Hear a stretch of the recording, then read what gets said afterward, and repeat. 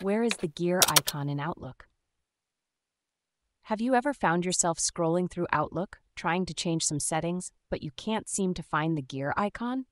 This is a common issue, and it's easier to resolve than you think.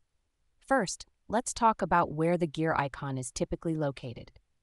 When you're using the Outlook web app, the gear icon should be right at the upper right corner of your screen. It's right beside your account name, so it's hard to miss if everything is set up correctly. If you're not seeing the gear icon, there could be a few reasons for this. One common issue is that your internet browser might not be compatible with the new Outlook interface. Make sure you're using the latest version of your browser.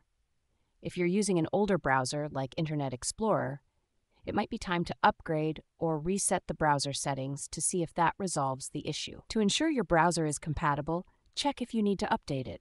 For example, if you're using Internet Explorer, you can reset its settings by going to the Start menu, typing inetc.cpl in the search box, and then following the prompts to reset the settings.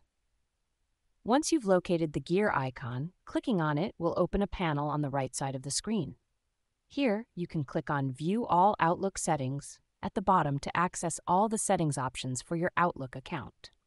So, the next time you're searching for that gear icon in Outlook, remember to check the upper right corner of your screen and ensure your browser is up to date.